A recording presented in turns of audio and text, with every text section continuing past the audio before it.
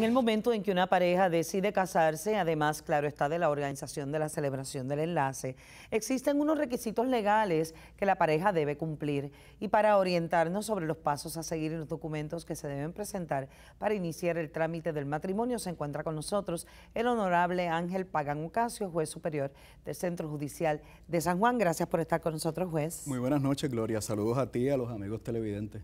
Bien interesante esto. Eh, eh, se ve mucho en las películas en Hollywood que la gente dice, vamos a casarnos, va, y se van corriendo y entran a un tribunal y ya se casaron. E, eso no es así. No, eso no es así, eso no es así. Hay una serie de, requisitos necesarios. Correcto. Vamos a comenzar estableciendo que el matrimonio es una de esas instituciones más antiguas de la historia de la humanidad eh, que ha sufrido diferentes modificaciones y está codificada en prácticamente todos los países. En Puerto Rico, el artículo 68 del Código Civil define el matrimonio como un contrato civil entre un hombre y una mujer para el propósito recíproco de convertirse en marido y mujer y poder cumplir los deberes que la ley les impone. Hay una serie de requisitos, comenzando con la capacidad legal de los contratantes. Toda aquella pareja que interese contraer el matrimonio debe ser mayor de 21 años de edad y no estar incapacitado. En el caso de los menores de edad, la ley establece que si el varón es mayor de 18 y la mujer mayor de 16, pueden contraer matrimonio con el consentimiento escrito de ambos padres que tengan la patria potestad o con la persona que haya sido designada como tutor o tutora de ese menor, excepto si esa menor está embarazada o si ha sido víctima de violación. En ese caso no se requiere la autorización escrita de los padres con patria potestad, pero sí hay que llevar una certificación médica de que está en estado de embarazo o una certificación de la Fiscalía de que ha sido objeto de violación. Pero eso no cae bajo, bajo seducción. Bajo la seducción también el código establece, eso es un delito aparte, la seducción también el código establece que las mujeres mayores de 14 años, eh, entre 14 y los 18, pueden contraer matrimonio ¿verdad? con el imputado siempre y cuando se establezca que ha culminado el, delito ¿no? y que se le autorice para tal. Entiendo.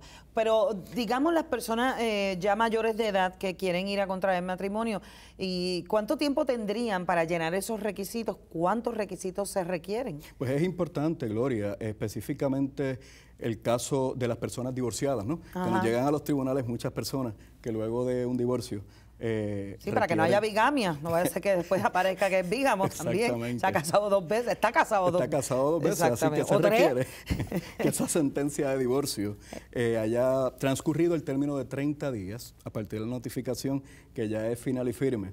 En el caso particular de las sentencias de divorcio dictadas por tribunales de países extranjeros, hay que llevar un procedimiento que se llama exequatur, que es un procedimiento en una sala civil para dar convalidar esa sentencia en los tribunales estatales. Así que una vez se dicta esa sentencia de exequatur y queda convalidada en Puerto Rico esa sentencia de divorcio de un tribunal extranjero, se trae al tribunal esa sentencia junto con la que dictó el tribunal extranjero y entonces puede proceder a contraer matrimonio. En el caso de divorcio por consentimiento mutuo, hay que esperar el término de 30 días desde que se notifica, que es el término para que advenga final y firme.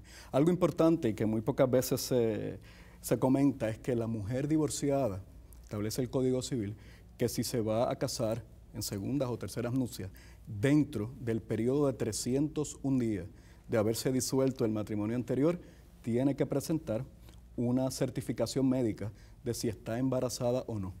Esto es para la presunción de paternidad del, bebé, ¿verdad? Que puedan hacer en ese matrimonio. Si la mujer da luz en ese periodo, no es necesaria la certificación. Entiendo. Eh, ¿Cuánto tiempo de antelación estos trámites se deben hacer antes de que uno eh, vaya a dar el sí? Es importante que cuando tengan todos los documentos, entonces comparezcan al tribunal para establecer la fecha de la boda. Van al tribunal municipal o a la sala de investigaciones de donde resida las partes, eh, porque hay un proceso previo que hay que hacer en el registro demográfico, hay que solicitar esa licencia médica, hacer unas pruebas de sangre específicas, ¿verdad? Que ya registró. Sí, requiere una prueba de salud. Exactamente. Una vez se tienen esos resultados, se va a un médico de la confianza, ¿no? Para que el doctor certifique que está apto o apta para contraer matrimonio, se regresa al registro demográfico y ahí el registro convalida esa licencia matrimonial, hay 10 días de vigencia a partir de que el médico certifica para contraer matrimonio. Posterior a esos 10 días hay que volver otra vez al trámite. Ah, pues hay que sacarse las pruebitas y en 10 días decir que sí porque no hay otra. eso es correcto. bueno, también puede decir que no. Sí, hay otra. Le agradezco mucho al señor juez por haber estado con nosotros. Eh, más adelante también discutiremos el caso, a ver si en, el caso de los viudos y viudas tienen que llevar una certificación del deceso eso de es correcto. Exacto. Y Gloria, perdona que te interrumpa, hay también un proceso que se está utilizando mucho, que son las bodas de destino, que es la excepción a los análisis de sangre y al proceso que hemos establecido. Si una pareja que no reside en Puerto Rico viene a Puerto Rico a contraer matrimonio, la ley que se enmendó en el 2010 establece que tienen que traer una certificación médica del lugar de su residencia en la que se certifique que han cumplido con todos los requisitos médicos y las pruebas de ese Estado. Que requiere el Estado. Y también una declaración jurada en la que certifiquen que comparecen a Puerto Rico únicamente para casarse, que no son residentes aquí y que de ser ciudadanos extranjeros no estarán en territorio de Puerto Rico más tiempo del que la autoridad federal le haya autorizado. Muchas gracias, juez, por haber estado con nosotros. Así que ya sabe, cumpla con todos los requisitos, porque si no, no va a poder casarse. Algunos felices, pero otros muy tristes. Vamos, continuamos contigo, Ariel.